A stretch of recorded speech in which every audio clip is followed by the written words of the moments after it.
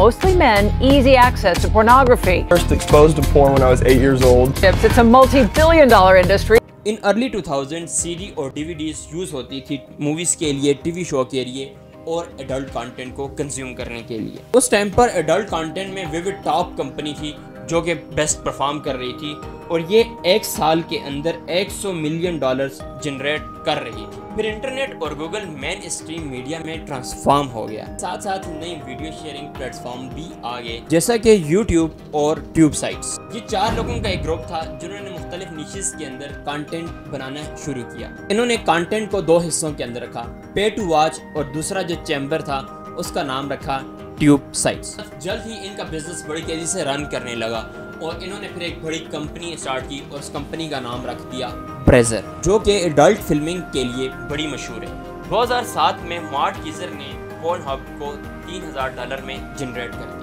इन चारों लोगों ने मिलकर एक बड़ी कंपनी लॉन्च कर दी और इस कंपनी का नाम था मैनवेन लेकिन कुछ ही अरसे के बाद इनके आपस में क्लेशेस आने लगे और फिर इन्हें मजबूरन इस कंपनी को सेल करना पड़ा और इस कंपनी को फिर खरीदा फेबन थेलमैन नामी एक शख्स ने इसके पास ऑलरेडी इस तरह की वेब कैम प्ले बॉय और इस तरह की वेबसाइट्स अवेलेबल थी। ये बंदा खुद सॉफ्टवेयर इंजीनियर था।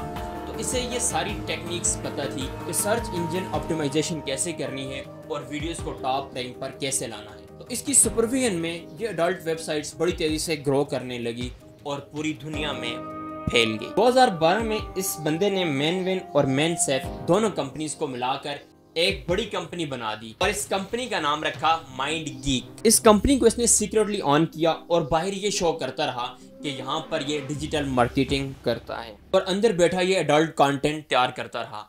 अभी भी इसके पास इतना अडल्ट कंटेंट मौजूद है कि ये आने वाले 150 साल तक अडल्ट कंटेंट प्रोवाइड कर सकता है। सो मेन स्ट्रीम मीडिया में ना ही इस पर कोई बात करता है और ना ही एडल्ट कंटेंट का मेकानिज़म इसकी प्रोडक्शन बेनकाब हुई है। पब्लिक के अंदर की जस्ट एक फाइनलाइज की हुई कुछ मिनट की वीडियो रिलीज़ करते हैं और लोग उसको देखकर अपनी लास्ट अपनी साइकोलॉजिकल और अपनी फ़िज़िकल नीड्स को कुछ टाइम के लिए कैटर करने की कोशिश करते हैं। इसके वर्कर और स्टार्स के अकॉर्डिंग ये एक हार्श और बी ग्रेडेड कंपनी है। इस एडल्ट इंडस्ट्री के लिए 2024 का साल बड़ा अजीब रहा है। यहाँ पर कई ऐसे एक्टर फ़िल्म स्टार और वर्कर्स गायब हुए हैं, जिनका कोई पता नहीं चला। बीसियों लोगों की अमवात हो चुकी है। कुछ पॉपुलर नेम जैसा कि सोफिया लोनी जो कि 26 साल की उम्र में ही मर गई। एक एक्टर एमिली जो कि ड्रग ओवरडोज की वजह से हॉस्पिटलाइज्ड हुई। इसी तरह एक और फ़िल्म स्टार की 24 साल में ही डेथ हो गई।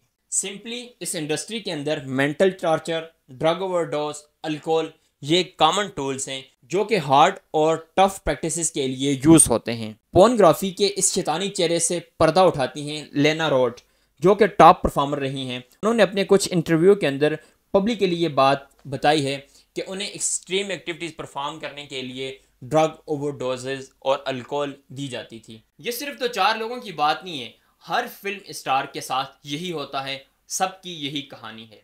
यही रीज़न है कि इस इंडस्ट्री के बहुत सारे लोग यंग एज में ही इस दुनिया से चले जाते हैं। तो आखिर सवाल ये बनता है कि इस इंडस्ट्री में फिर भी इतने लोग क्यों आते हैं? इसकी दो बड़ी रीजंस हैं।